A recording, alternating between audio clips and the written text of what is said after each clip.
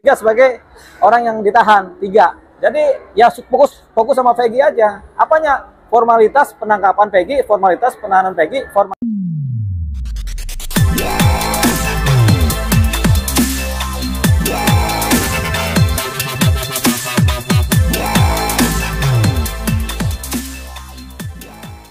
Praktisi hukum, Deolipa Yumara mengatakan polisi sebaiknya membebaskan Pegi Setiawan alias Perong dari kasus pembunuhan Vina Cirebon. Menurutnya, bukti atau saksi yang ada tidak cukup kuat untuk menjerat Pegi.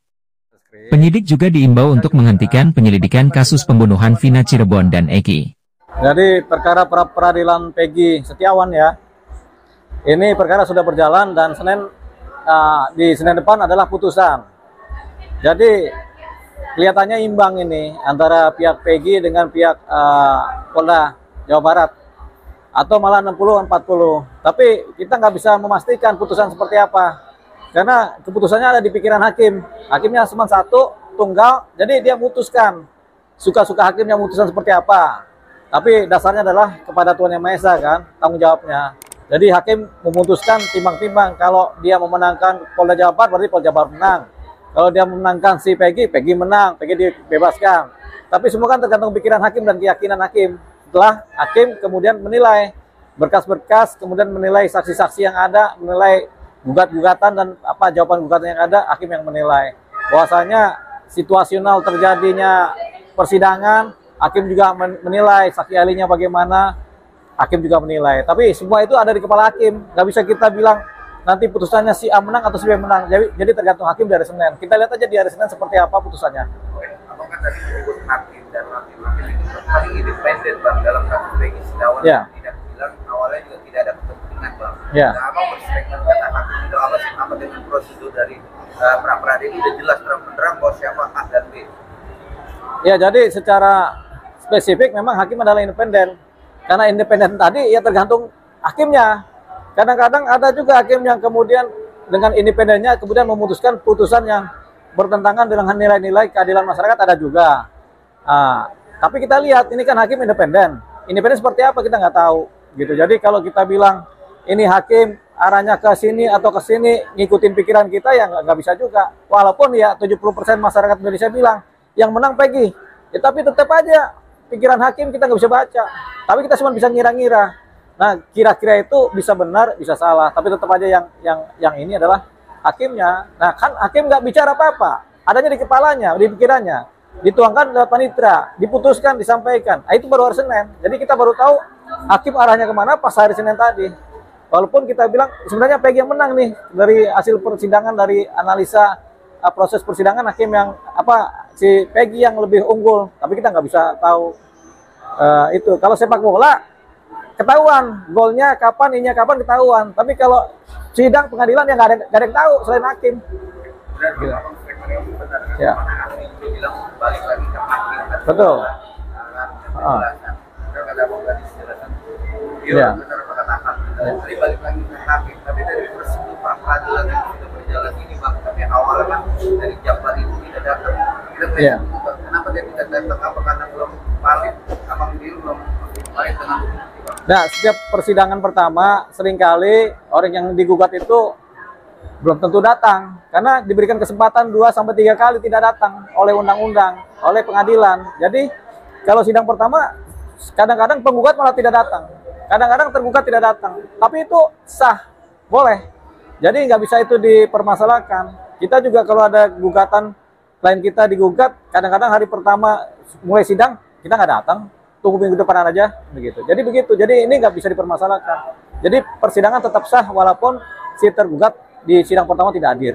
Jadi nggak ada nggak ada nilai positif atau negatifnya. Kemarin kan dari itu mengasih ahli dari Polri. Ya. Dari Polri menjelaskan bahwa fakta-fakta itu masih masuk dari subsidi atau analisanya sudah benar dengan penangkapannya di tersangka yaitu uh, Peggy Setiawan. Abang melihatnya gimana bang? Ya, kalau dari dari proses penangkapannya sepanjang prosedur dilakukan secara baik dan benar berdasarkan KUHAP, Kitab Undang-Undang Hukum Acara Pidana dan prosedur di kepolisian, kalau sudah benar ya berarti secara formal ya sudah benar. Nah, kalau pra peradilan, pra, peradilan itu kan yang dikejar adalah aspek formalnya, apa sudah benar proses penangkapan berdasarkan hukum, apakah sudah benar proses penahanan berdasarkan hukum, atau apakah sudah benar proses penangkapan tidak salah orang berdasarkan hukum. Itu tadi kalau aspek formal-formalnya kemudian sudah benar semua, ya sudah berarti dia nggak benar. Artinya semua surat terpenuhi. Karena peradilan itu yang dikejar surat-surat administrasinya, bukan fakta-fakta ke- kejadian perkara. Nah, kalau fakta-fakta kejadian perkara sama pelakunya itu adanya di pokok perka- perkara, sidang utama, sidang pidana. Kalau ini kan sidangnya sifatnya perdata. Peradilan itu sifatnya perdata karena ada penggugat, ada tergugat, ada gugatan, ada jawaban, ada replik, ada duplik. Nah, itu sifatnya perdata semua tuh. Kan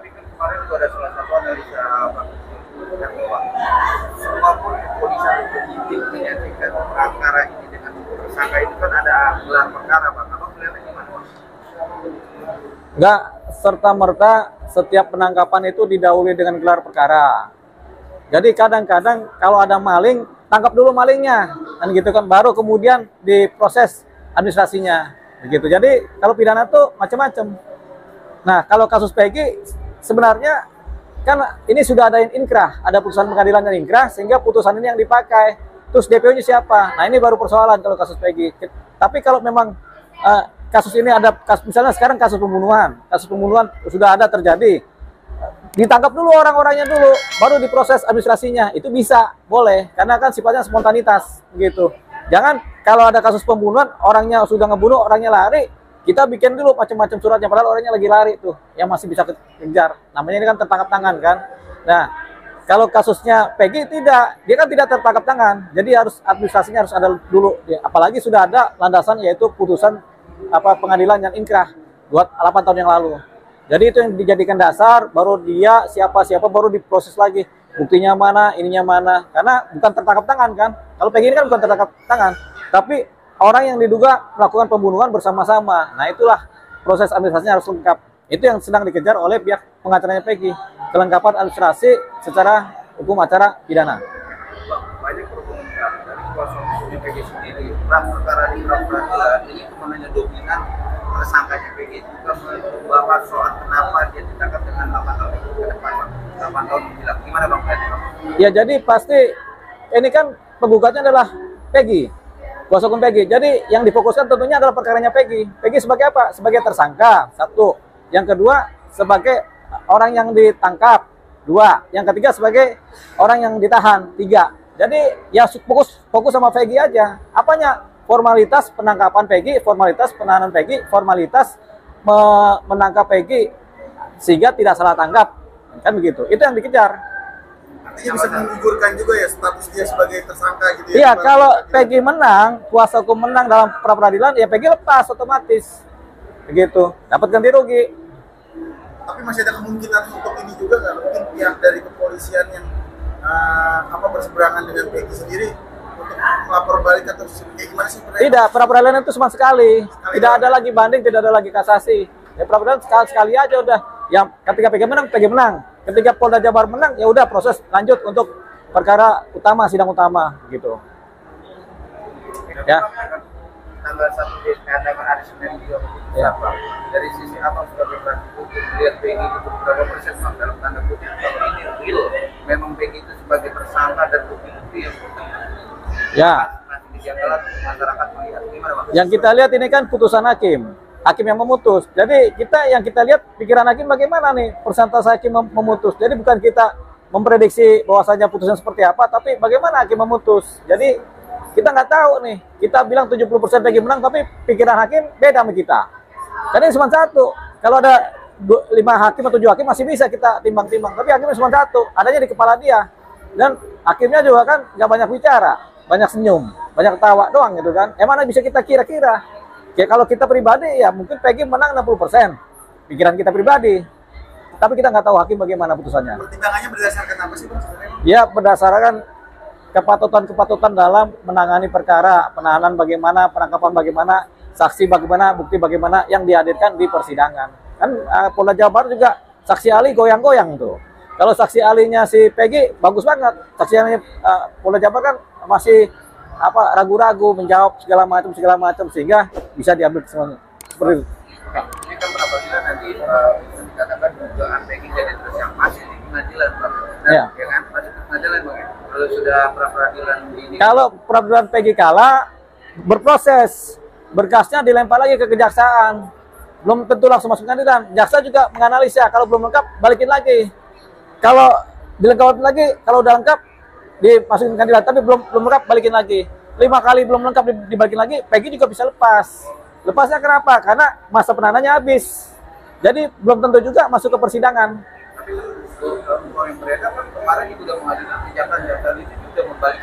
Iya, baru satu kali kan membalikan berkas. Nanti dibalikin lagi sama polisi, sama pe- penyidik. Ntar dibalikin lagi. Kalau kalau belum lengkap balikin lagi. Kalau sampai lima kali aja bolak-balik bolak-balik dianggap berkas nggak lengkap. Peggy lepas demi hukum. Begitu. Dari kejaksaan juga bang bahwa berkas ini belum valid banget banyak Iya. akan tidak ditersangka Bang. Betul, makanya kan ini kan prosesnya masih panjang. Jadi tidak semudah yang kita pikirin. Kalau misalnya udah Peggy kalah, dia akan sidang utama, belum tentu. Tergantung jaksa juga.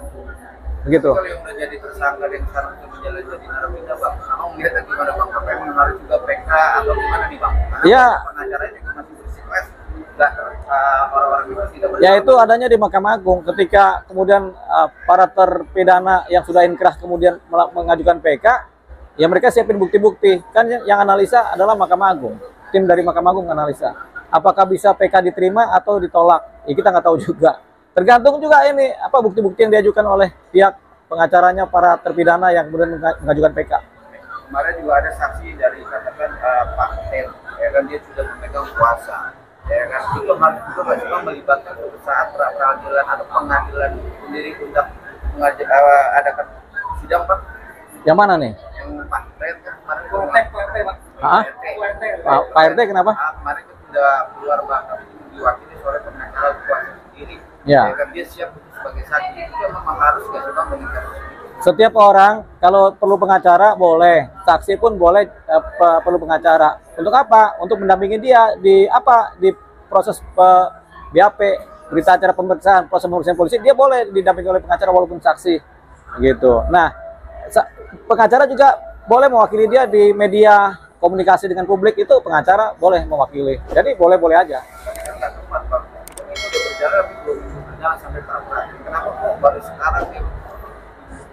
Punya pengacara? Oh ya, itu kan suka-suka dia. gitu. Eh, pasal yang tentang abang kan pernah eh, apa namanya eh, menyampaikan bahwa obstruction of justice itu seperti apa sih bang pasalnya bang?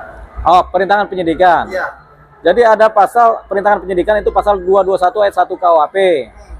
Itu siapa pun yang merintangi pe- penyidikan itu bisa dikenain pidana perintangan penyidikan, gitu kan. Nah, cuman ada kecualinya yaitu pasal 22 221 ayat 2 KUHP kecuali orang tua atau keluarga sendarah. Kalau mereka mer- merintangi atau menghalang-halangi penangkapan atau apa, itu tidak dianggap sebagai perintangan penyidikan. Dihapuskan pidananya. Walaupun mereka dianggap perintangan penyidikan, tapi dihapuskan pidananya oleh undang-undang. Berarti keluarganya tidak ada indikasi untuk dihukum gitu ya? Tidak bisa dihukum. Kenapa? Walaupun mereka mer- merintangi penyidikan, masuk memang unsurnya. Keluarga ini bapaknya Peggy merintangi penyidikan. Masuk di pasal 221 ayat 1. Tapi karena pasal 221 ayat 2 bilang, kalau bapaknya atau keluarga saudaranya, ya dihapuslah pidananya. Kan begitu. Seperti itu. Ya. harapan Bang Harapannya itu hakim memutus seadil-adilnya bagi kepentingan masyarakat Indonesia untuk keadilan begitu. Jadi hakim kalau memutuskan Peggy menang, dasarnya apa disampaikan. Kalau hakim memutuskan Polda Jabar yang menang, dasarnya apa disampaikan secara lengkap supaya masyarakat mengerti dan paham dan memahami oh ya itulah putusannya seadil-adilnya tadi. Jadi harus ada landasan putusan yang paling penting itu.